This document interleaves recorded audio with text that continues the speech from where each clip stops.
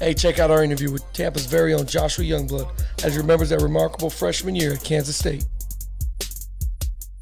Do you have something that's that you just remember, like that stood out in your mind? Yes, sir. Uh, I'll probably say the Iowa State game when I mm. scored the first of game because you know my my uncles are coming. They're like, "Hey, man, if you score this week, you're leading the nation."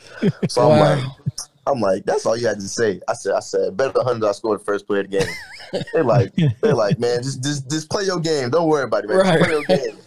So I mean, I didn't think they were going to kick it to me. I asked my boy Kamani, he plays for uh, Iowa State. I'm mm-hmm. like, hey man, you're gonna kick it to me this week? He's like, hey man, you don't worry about it. You know, we're just gonna do our thing. So I'm like, I'm like bet. That's right. all I wanted to hear. So that's right. all you need to know. Right, right. I'm, it's crazy. You know, I see it in the air, it's coming down. I'm like, dude, they're really kicking it to me. I'm like, this, this is this is what I've been waiting for. I get it. It's blocked perfectly. I didn't have to make any moves, and I just run in the end zone. The fans go crazy, and it's cold, snowing. I mean, it, it was ridiculous.